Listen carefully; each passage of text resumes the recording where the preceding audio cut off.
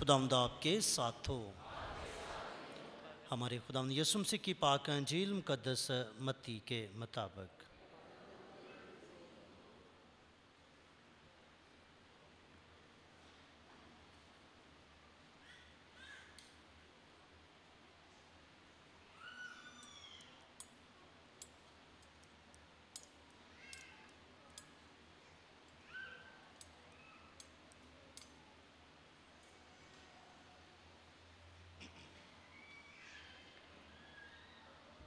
उसके सोलहवें बाप की तेरहवीं आयत से हम सुनेंगे। और जब यसु कैसरिया फिलिपी के इलाके में आया तो उसने अपने शागिर्दों से ये पूछा कि लोग इब्न इंसान को क्या कहते हैं? उन्होंने कहा कि बाज़ योहन्ना इस्तबागी कहते हैं, बाज़ इलियास, बाज़ इर्मिया या अबिया में से कोई। उसने उनसे कहा, मगर तुम मुझे क्या कहते हो? शमौन पतरस ने जवाब में कहा कि तू अलमसीह है, ज़िंदा खुदा का बेटा।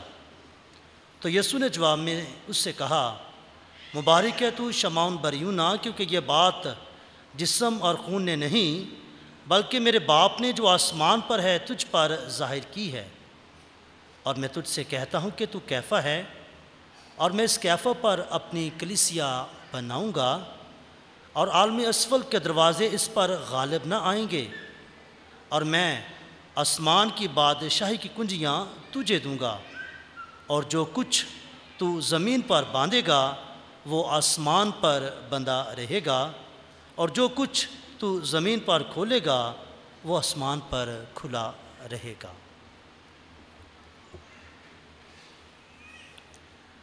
अंजिल मुकदस के वसीला से हम सब की ख़ताएँ मटाई चाहें मसीह में मेरे अज़ीज़ भाइयों, बहनों और प्यारे बच्चों, आप सबों को मुकदस पत्रस रसूल और मुकदस पालूस की ईद बहुत बहुत मुबारक हो।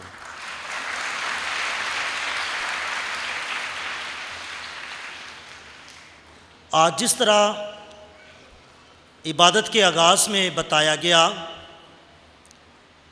कि आज हम पाकमा कलिसिया में दो अहम तरीन हस्तियों, दो अहम तरीन रसूलों, दो अहम तरीन शख्सियात को याद करते हैं और उनकी ईद मनाते हैं।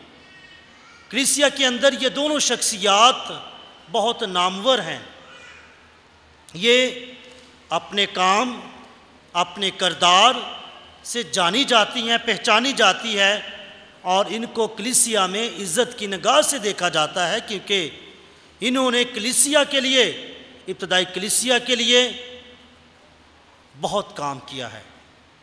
अपनी जाने तक निछावर की हैं। और इनमें जो एक अजीम हस्ती मुकदस पत्रस है, जिसका पैदाइशी नाम शमाउन था, जो बाद में पत्रस कहलाता है। मुकदस लुका की अंजील उसके छठे बाप उसकी तेरहवीं आयत में लिखा है कि उसने अपने शागिर्दों को बुलाया। उसने मतलब मसीह यस्सु ने अपने शागिर्दों को बुलाया और बुलाने के बाद उसने बारह रसूलों को चुना। यानी शमाउन जिसका नाम उसने पत्रस रखा। हमें मुकदस लुका के अंदर उसके छठे बाप तेरहवीं आयत में पता चलता है कि मसीह खुदावंद इसके नाम को बदलते हैं शमाउन से पत्रस रखते हैं। लिहाजा, जब हम इनकी बुलाहट की बात करते हैं, इनके बुलावे की बात करते हैं, इनके चुनाव की बात करते हैं, इनकी कौल की बात करते हैं तो मुकदस पत्रस जो हैं अपने भाई इंद्रियास के साथ एक दिन जलील की झील में जाल डाल रहे थे, क्योंकि मछेरे थे, माहीगीर थे, मछलियाँ पकड़ते थे, इनका पेशा था। तो लिखा है कि मसीह यस्सु जो हैं, जलील की तरफ़ जाते हैं और जाते हुए क्या करते हैं, इनको काम करते हुए देखते हैं। और काम करते हुए जब देखते हैं तो फिर क्या होता है, इनको बुलाते हैं और बुलाते हैं तो कहते हैं कि, मेरे पीछे चले आओ, मेरे पीछे चले आओ, मैं तुम्हें आदम आदमगीर बनाऊँगा। पहले ये माहीगीर हैं, मछलियाँ पकड़ने वाले हैं, लेकिन यसु ने क्या कहा? कि मैं तुम्हें आदमगीर, यानी कि इंसानी रूहों को पकड़ने वाला बनाऊँगा। तुम्हारे वसीला से लोग जो हैं, खुदा की तरफ़ आएँगे। और आज हमने सुना, जैसा मसीह यसु ने कहा था, वैसा हुआ भी आज की पहली तलावत में, जब पत्रस और योहन्ना जो हैं, हैकल में दुआ करने जा रहे हैं तो क्या होता है कि एक शख्स जो बेकारी है मांगने वाला है, उसको वो शिफा देते हैं। और कहते हैं कि सोना चांदी तो हमारे पास है नहीं, लेकिन जो हमारे पास है, वो मैं तुम्हें देता हूँ। इनके पास क्या था? यसु का इख्तियार। इनके पास क्या था? शिफा देना, तंदरुस्ती देना, मोर्जात करना। इसलिए इन मोर्जों से ये लोगों को अपनी तरफ़ खींचते हैं। तो यीशु की जो बात है कि मैं तुम्हें आदमगीर बनाऊँगा तो वो बात पूरी होती है। लिहाजा ये एक अहम तरीन रसूल है। तमाम रसूल ही अहम है, लेकिन तमाम ग्रुप में से एक शख्स जो है, बहुत अहम तरीन होता है। और ये अहम तरीन शख्स मुकदस पत्रस हैं। क्योंकि मुकदस पत्रस को खुदा यसुमसी ने जो कि आज की पाक अंजिल में हमने सुना कि आसमान की चाबियाँ दी, कुंजियाँ दी और कहा कि तू जो आसमान की, तू जो आसमान में बांधेगा वो बंदा रहेगा, ज़मीन पर जो बांधेगा वो आसमान पर बंदा रहेगा, जो कुछ तो ज़मीन पर खोलेगा वो आसमान में खुला रहेगा। यानी कि आसमान की चाबियाँ आसमानी बादशाह की चाबियाँ तो इसलिए जब भी आप मुकदस पत्रस की तस्वीर को देखेंगे तो मुकदस पत्रस के हाथों में दो चाबियाँ होंगी, दो कुंजियाँ होंगी। ये मुकदस पत्रस की ख़ास निशानी है और जो चाबियाँ हैं, कुंजियाँ हैं, ये इख्तियार का निशान है। तो आप सब जानते हैं कि हमने जब अपनी पैरिश में फादर्स डे मनाया था तो हमने अपनी पैरिश के जो बाप हैं, उनको हमने की रिंग दिए थे और कहा था कि आपने अपने घर की जो अहम तरीन चाबियाँ हैं लॉकर की या घर के मेन दरवाजे की तो आप इसमें डालनी है। क्यों? क्योंकि जो चाबी है इख्तियार का निशान है, सरबराही का निशान है। तो मसीह खुदावंद ने मुकदस पत्रस को इख्तियार दिया सरबराही का कि मेरे बाद कलिसिया की वो गल्लाबानी करे, इसलिए वो पहले बिशप और पहले पोप हैं। मुकदस पत्रस जो हैं, जानशीन हैं तो वो पहले पोप हैं और ये अहम तरीन है। कलाम मुकदस में जब इनकी हसीियत की बात करते हैं तो यसु की ज़िंदगी में जब भी कोई अहम तरीन वाक़ात हुए हैं तो मुकदस पत्रस वहाँ पर मौजूद हैं। कैसे? कि जब वो यायर के घर में, यायर, जो कि हमने इतवार के रोज़ तलावत भी सुनी थी, कि खुदा यसमसी यायर की बेटी को ज़िंदा करते हैं। तो जब वो ज़िंदा करते हैं, दुआ के लिए जाते हैं तो क्या होता है कि वो अपने साथ पत्रस, यकूब और योहन्ना को साथ लेकर जाते हैं। तो पत्रस जो है खुदा यसमसी के साथ मौजूद है। यार के घर में भी मौजूद है, कैसरिया, फिल्पी में, जो कि आज की पाक अंजील में, जिसमें मसीह खुदावंद सवाल करते हैं, शागिर्दों से, रसूलों से, कि लोग मेरे बारे में क्या कहते हैं? वो अवामी राय लेते हैं, पूछते हैं। लोगों से पूछते हैं कि लोग मेरे बारे में क्या सोचते हैं? तो शगिर्द कहते हैं कि लोग तेरे बारे में सोचते हैं कि वो कहते हैं कि ये योन्ना इस्तबागी है, इलियास है, या इर्मिया है, या नबियों में से कोई नबी है। ये बात इन्होंने दूसरों की बातें बताई कि लोग तुम्हारे बारे में ये कहते हैं और ये कहना बहुत आसान होता है। अपनी ज़िंदगी में देखें कि अगर हमसे कोई पूछे कि फ़लाँ शख्स मेरे बारे में क्या कहता है तो हम कहें कि वो तेरे बारे में ये कहता है, दो चार बातें बढ़ा चढ़ा कर पेश करेंगे। ये बहुत आसान है दूसरों के बारे में बात करना, लेकिन जब अपनी गवाही की बात आए तो वो बहुत मुश्किल होता है। ये तो सबने जवाब दिया कि लोग तुम्हें योहन्ना इस्तबागी कहते हैं, तुम्हें इलियास कहते हैं, इर्मिया कहते हैं, लेकिन जब मसीह यस्सु ने इसी बात को कुछ और अंदाज से पूछा कि तुम मुझे क्या कहते हो तो फिर सोच में वो पड़ गए। पहले सभी ने जवाब दिया, लेकिन अब सब खामोश हैं।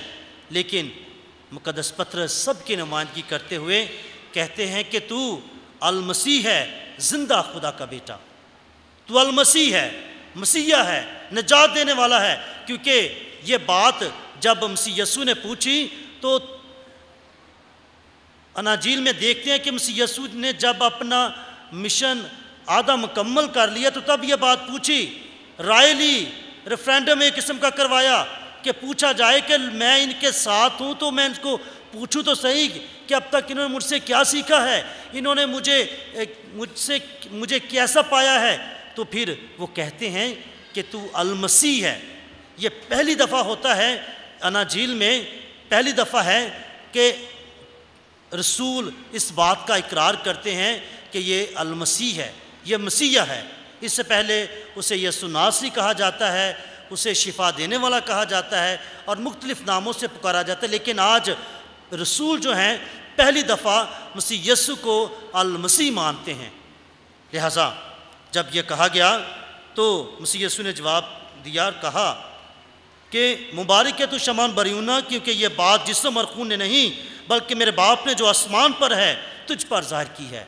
ये खुदा की तरफ़ से मुकदस पत्रस पर ज़ाहिर हुई कि वो इस बात का ऐलान करे, दुनिया को बताए कि खुदा यसुमसी कौन है?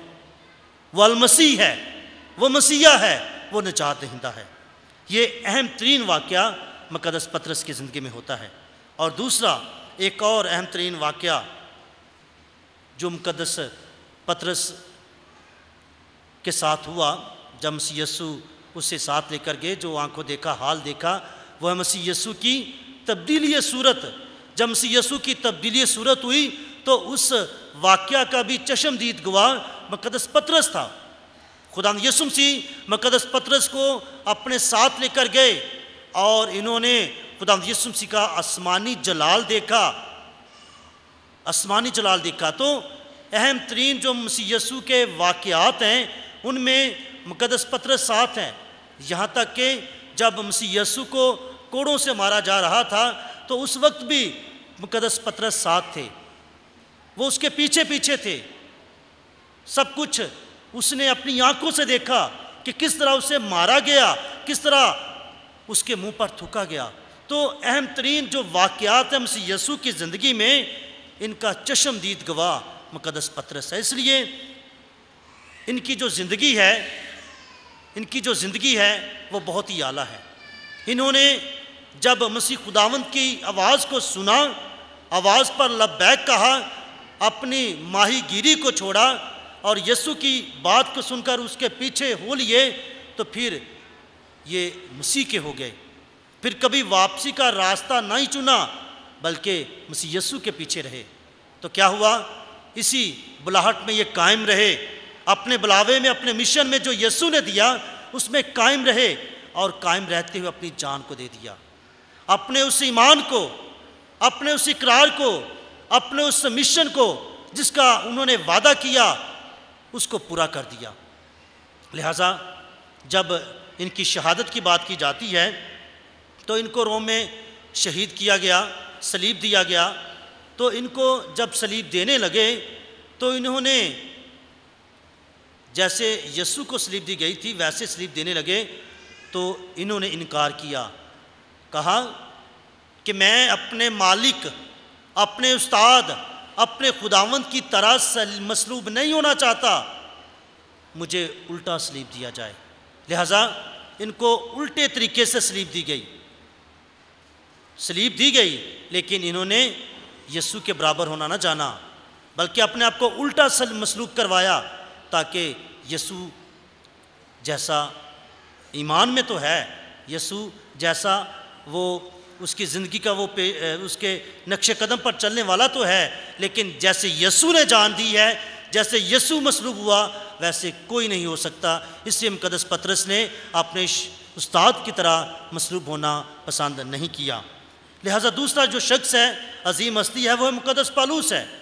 मुकदस पालूस तुरसस का रहने वाला था, रोमी शहरी था, जिसका पहला नाम शाउल था।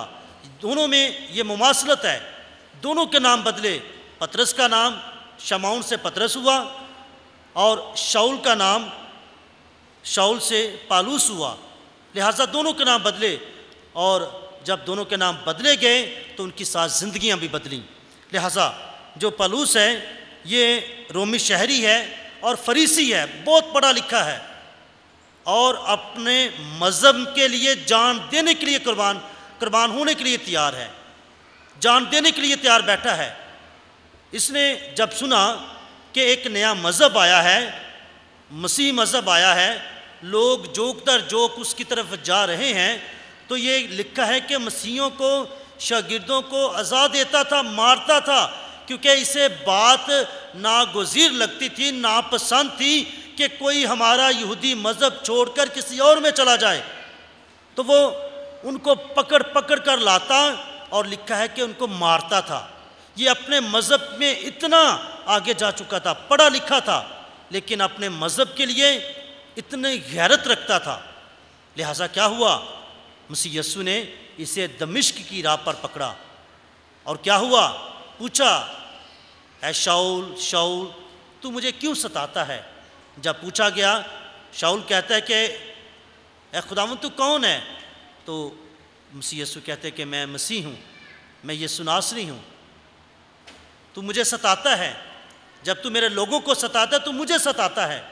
फिर मसीह यस्सु ने इसकी ज़िंदगी को बदला और कहा कि, तू मेरे नाम के लिए अजियतें सहेगा। अंजील के लिए जीते सहेगा तो गैर कौमों का रसूल होगा, और वैसा ही हुआ। जब उसकी ज़िंदगी बदली, खुदा की तरफ़ से बुलावा आया तो उसने अपनी जान हथेली पर रखकर मसीहत का प्रचार किया। और इसने मसीहत यसु मसीह के मसलूब होने का प्रचार किया। और मुकदस पालूस के सारे ख़तों में देखते हैं, रसूलों के अमाल में देखते हैं कि किस तरह उसने जो बशारती सफ़र थे, किस तरह वो कैद खाने में भी गया कोड़ों से मार भी खाई, पहाड़ से भी गिराने लगे, उसे संसार भी किया गया, लिहाजा उसने रहती सांसों तक यस्सु का प्रचार किया, मसीह ईमान का प्रचार किया, इसलिए आज की दूसरी तलावत में वो अपनी वो बात बयान करता है तहमता उसके नाम खत, उसके चौथे बाप में वो कहता है कि मेरी रवानगी का वक्त पहुँचा है और मैं अच्छी लड़ाई लड़ चुका हूँ। मैंने दौड़ को ख़त्म कर लिया। उस दौड़ को जो यस्सु ने से सौंपी थी, उस लड़ाई को जो यस्सु ने से सौंपी थी कि तूने मेरे नाम को फैलाना है, मेरे काम को फैलाना है, उस जो ज़िम्मेदारी दी थी मुकदस पालूस ने उस ज़िम्मेदारी को निभा लिया।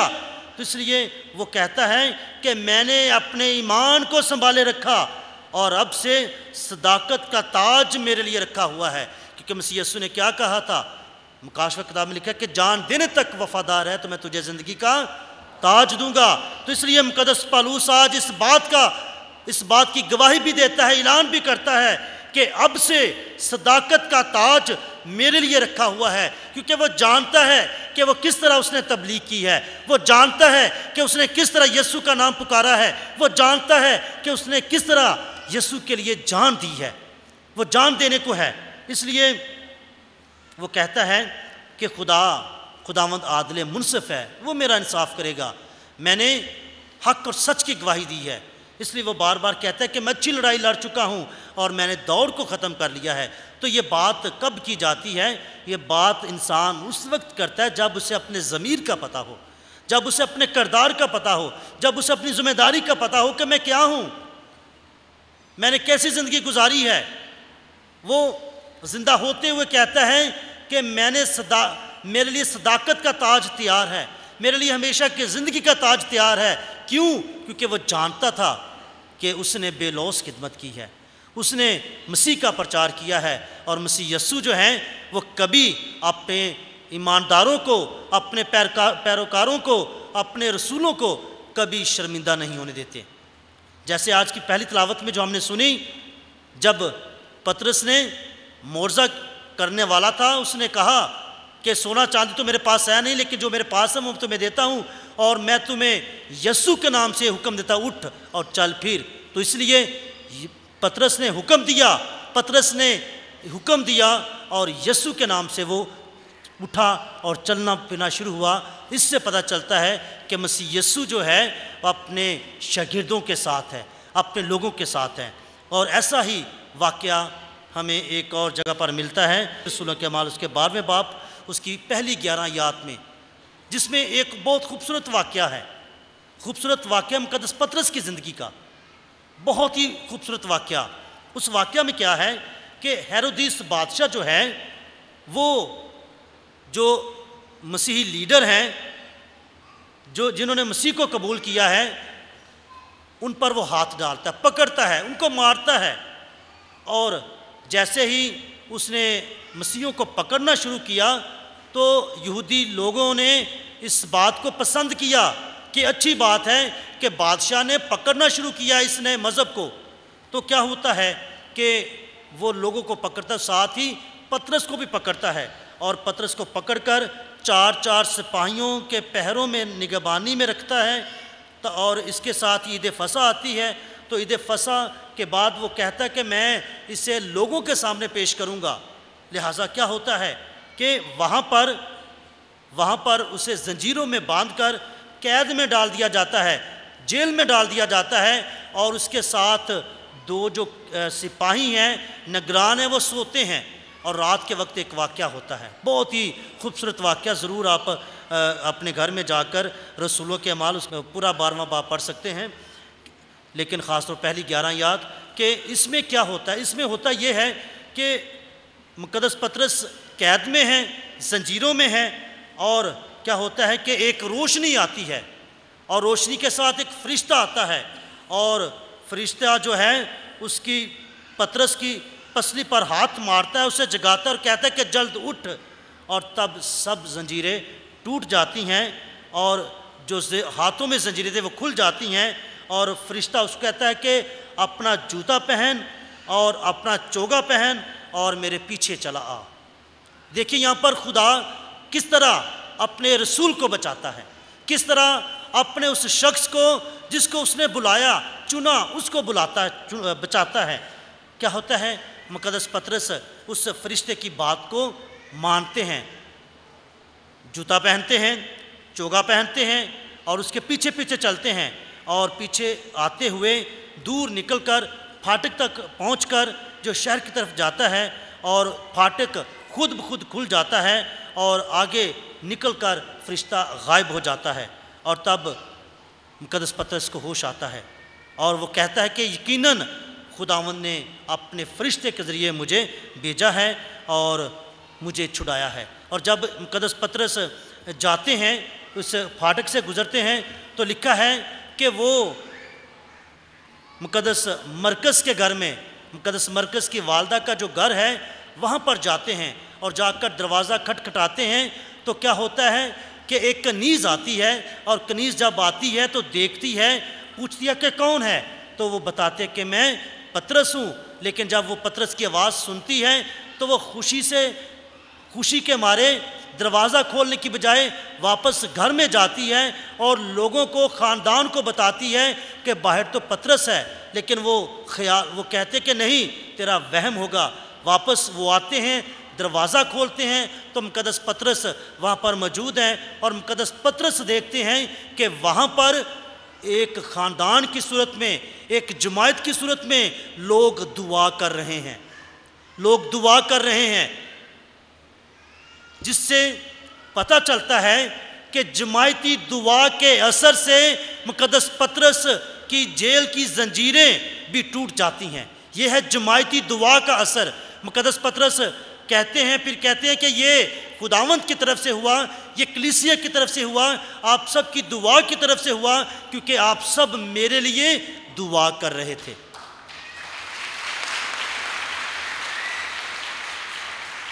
बहुत ही खूबसूरत वाक्य है, जिसमें मुकदस पत्रस इस बात को देखते हैं कि कैसे लोग उसके लिए दुआ करें। ये दूसरों के लिए दुआ करता है, लेकिन जब ये कैद में है तो जमायत दुआ कर रही है, ताकि खुदावंद इसकी ज़िंदगी में मुआवजा करे, रिहाई दे और रिहाई मिल जाती है। लिहाजा, जब हम इन दोनों रसूलों की बात करते हैं, जब इन दोनों रसूलों की सारी ज़िंदगी पर ध्यान ज्ञान करते हैं, जो कि अपनी जान खुदावंत के लिए और कलिसिया के लिए वक्फ करते हैं तो फिर इनकी ज़िंदगी को देखते हुए हम सोच सकते हैं, कह सकते हैं कि अगर इन लोगों ने कलिसिया के लिए ज़िंदियाँ वक्फ़ की थी तो कलिसिया ने भी इनका, इनके लिए अपना आप कुर्बान किया था। कलिसिया ने भी इनके लिए दुआ की थी। अगर इन्होंने कलिसिया का साथ दिया था तो कलिसिया ने भी इनका साथ दिया था। जब ये परेशान थे, जब ये जंजीरों में है तो कलिसिया दुआ कर रही है।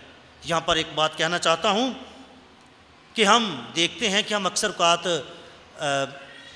अक्सर कात नहीं, बल्कि हर दफ़ा ही इतने नाम पाकलतार पर नमाज़ के लिए रखते हैं।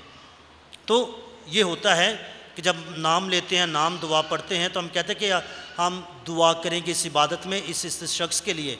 तो ये दुआ जो है, इनके लिए नाम बे नाम सिर्फ़ काहिन अकेला नहीं कर रहा होता, बल्कि हम सब मिलकर दुआ कर रहे होते हैं। तो जब हम मिलकर दुआ करते हैं, जमायत की सूरत में तो वहाँ पर मोर्जात होते हैं।